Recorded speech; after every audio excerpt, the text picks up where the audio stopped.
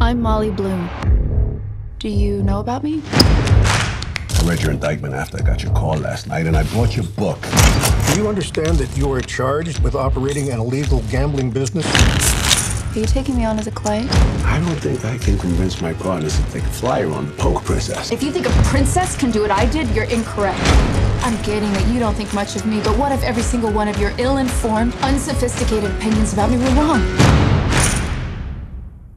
I'd be amazed. This is a true story, but except for my own, I've changed all the names. And Molly, my weekly poker game is moving to the Cobra Lounge. You'll help run it. I was in a room with movie stars, directors, and business titans. They were going all in, all the time. Thank you, Molly. This is for you. Thank you so much. Paying my assistant. You Firing me? I'm not firing you. I'm just gonna stop paying you. You get paid once a week from the game. It doesn't seem fair. You're gonna stop paying me because I'm making too much money doing my second job, and if I say no, I'll lose both jobs because it doesn't seem fair? You don't have bargaining power here. You are unimportant. Do you know how many witches were burned in Salem? How many? None. They didn't burn witches, it's a myth. They hanged them. The humiliation had given way to blinding anger at my powerlessness. I wasn't gonna wait before I put a plan in place.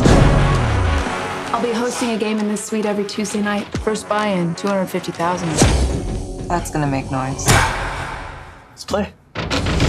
He spent eight years in Hollywood and two years in New York running the world's most exclusive and decadent man cave. Have you seen the other names in your indictment? Come on, Marty. Just how deep into the Russian mob were you? Your exposure's crazy.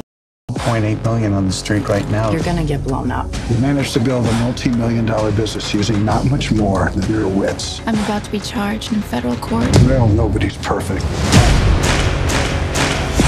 There's a new offer on the table. Complete immunity. We hand over the hard drives. You've seen what's on those hard drives. Families, lives, careers will be ruined. Why are you in this alone? Where are the people you're protecting by not telling the whole story? Them everything they want to know about me. About me.